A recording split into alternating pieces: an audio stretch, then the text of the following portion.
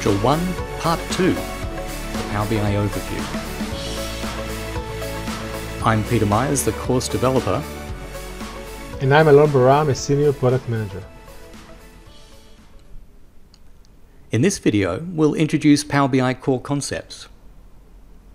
The core concepts we will cover include the Power BI service, workspaces, datasets, reports, dashboards, and Q&A. Power BI is a collection of software services, apps, and connectors that work together. The Power BI service, which is app.powerbi.com, is the SaaS, software as a service part of Power BI. It allows you to create, share, and consume business insights. Now, the Power BI workspace is an important concept, and it acts as a container for Power BI content. There are two types of workspaces the personal workspace and the workspace. And these workspaces store content types like data flows, datasets, workbooks, reports, and dashboards. And we'll introduce some of those content types shortly. Workspace architecture has changed, and it's important to understand that by default, all workspaces are the new workspace experiences. They're no longer based on Office 365 groups, and new workspaces will be required for certain types of embedding. Creating and publishing content to non-personal workspaces requires a Power BI Pro or Power BI Premium per user license.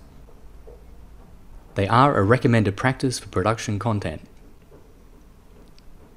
Datasets are another Power BI core concept. Power BI datasets represent a source of data ready for reporting and visualization. A report is based on a single dataset, and a dataset can be used by multiple reports. Note that datasets will be discussed in more detail when describing data permissions in Module 6. Now, there are two types of reports supported by Power BI the Power BI report and the Power BI paginated report. Let me now describe Power BI reports in more detail. Power BI reports are optimized for exploration and interactivity. They present your data using a comprehensive range of ultra modern visuals and they're ideal for analytical reports, enabling your report users to explore data and discover relationships and patterns. They can be developed in the Power BI service, but preferably you develop them using the desktop tool Power BI Desktop. And they're the most commonly embedded report type in apps. You can refer to these reports as interactive analytic reports. Let's take a look at an example. Here is the regional sales analysis report for the Tailspin Toys Company. It's a good example of an analytic report it supports filtering with slices across the top and displays high-level summary values and interactive visuals. It's designed specifically to explore and discover answers to a broad array of business questions. Note that it can be multi-paged, but the dimensions of the page itself are fixed. Let me now describe Power BI paginated reports. The paginated reports are optimized for printing or PDF generation. They provide you with the ability to produce highly formatted, pixel-perfect layouts. They are based on SQL Server Reporting Services, SSRS, Report Definition Language, RDL reports. They are ideal for operational reports like sales orders and developed using Power BI Report Builder. For those that already have background with SQL Server Reporting Services report design, those skills can be directly applied to developing Power BI paginated reports. Now to contrast them with Power BI reports, we often refer to them as pixel perfect reports. Let's take a look at an example. This sales order report is designed to list each line of a sales order. There could be hundreds of order lines, so a paginated report can overflow those rows to multiple pages when necessary.